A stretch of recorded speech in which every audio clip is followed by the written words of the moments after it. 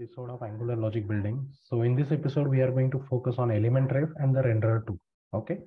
So previously we had the renderer, but with the latest version, we have the renderer 2. So first example I'm going to show you is with directive. Okay.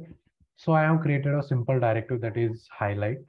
Here I have implemented two host listener that is first mouse over and mouse out. And if you see here in the constructor, I have created object of the element ref. So what it does, so element ref will actually give you access of that particular element wherever you will you apply this particular directive. So in server side component, if you can see, I have applied that directive on the card header. Okay. So now in the host listener, once I the event is mouse over, once I over that particular div, wherever I have added this, so means this card header div. So here, what we will do, the element this dot element ref dot native element. So this is equals to document dot get element by id, whatever we used to do, right? So this part is nothing but equal to this. We are selecting that particular element. In this case, we do, we don't have to provide any id or any class name to select that element because we are adding this particular directive on this element. So we will get the reference of this div. And what we are doing, we are just adding a class bg danger. And when we move the out, mouse out, we are again removing that same class. So let's see this in example. So this is in that filtering component. So as you can see, I have got some particular record. So once I, let's say I'm moving on the Akansha. So you can see red color is getting applied. If I move out, it is getting removed. So wherever I'm going, so you can see that host listener is getting triggered and that particular say, uh, style, uh, particular class is getting added to that particular div. So this is what the use of element ref. By using element ref, we get the, in the name itself, element ref means we get the reference of the element of that particular DOM. So this is element ref. We normally use element ref with view child also and mostly in the directive. When we create a directive and we want to uh, attach something or add a style or a class or uh, read the uh, text of that uh, element or attach some text. So we go with element ref. Next thing is renderer 2. Okay. So as the Angular team has suggested, element ref, what it does, it will directly allow us to communicate with the DOM. But as the rule or the standard follows, we should not directly communicate with the DOM. So Angular team has provided renderer 2. So what renderer 2 allows us, it will allows us to manipulate DOM more safely. So here's the example. So in this users users.html on this button click, so we are seeing the first change color. On this button click, I'm calling this function that is change color. So here what I have did in the constructor, I have created both uh, instance of both the element ref and the renderer 2. So first using query selector, I'm selecting the first button I get. So this dot element dot native element query selector. So this dot element ref in this element ref, we will get the complete template. And then from that complete tem uh, uh, template, we are selecting first button.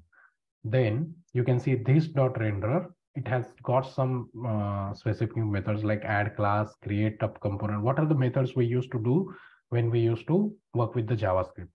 So like that, I'm I'm using set style method. Then so to set style method, I have I have some parameters like first is the element we need to pass, then style, and then the value. So this is the element what I have got. Then which CSS I need to override, that is background color, and I'm providing the value. So let's check.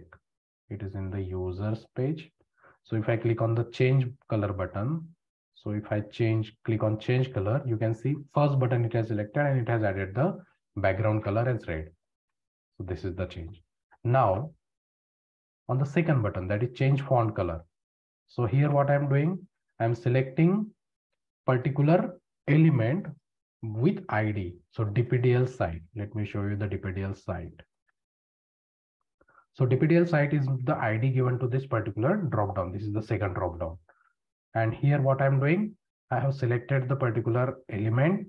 Then I am adding a class. So if you can see uh, to the add class, we just have two parameters. First is the element and second is the name of the class. So you can see I have selected the element, then this dot render dot add class provided the element and then provided the class. So let's check this. On click of this button, this select, you can see the label is in, uh, currently it is gray color, but once I click, you can see it is in red color. Let's debug the code now. Let's just add a debugger everywhere. Yeah, a debugger is already there. Here also let's add it.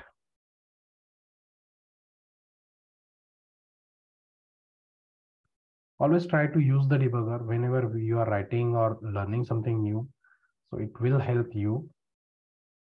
Let's see now.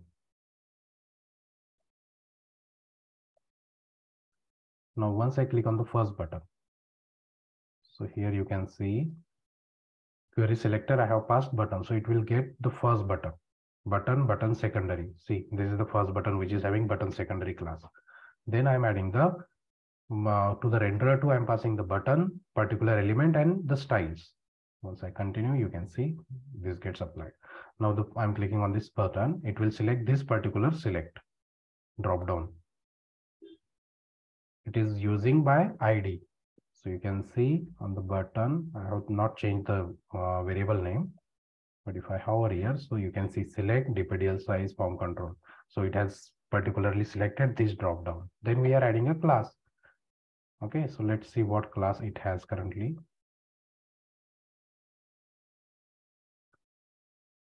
So here you can see it has particular these four classes are there. Form control, ng touch, ng and ng valid. Now I'm adding one more class. So again, if I see here, class list,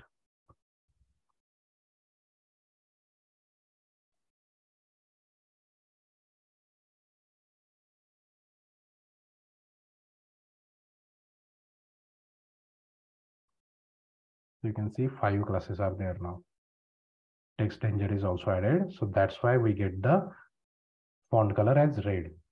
So these are these are this is the example of element ref and the renderer. Now let's say the directive. Let's go to this filtering page. Let me just continue this. So whenever I'm, you just have to see now quickly because every time I will get the debugger. So see mouse out is debugger is also there. Now if I hover on this, so you see first mouse over event is there. Okay. Now if I continue, then mouse leave event is also there. So simultaneously it will go. So let me just debug. So you can see this is out. First this event get trigger once I mouse over. Then once I uh, go away from that particular div, the second mouse out element mouse out function will be get triggered and we are removing the particular class from that div. So this is the practical example of element ref and the renderer 2. Again, you might see when you work with the prime ng AG grid, you might see this uh, element and the render too in that scenario where you have to provide the custom template and you need to write the custom events on that. So in that scenarios, you are going to use element ref and the renderer 2. Hope you have liked the video. I will be coming up I will be coming with uh, more topics related to uh, advanced and the logic building part. Okay. Till then, thank you. Please do like and subscribe.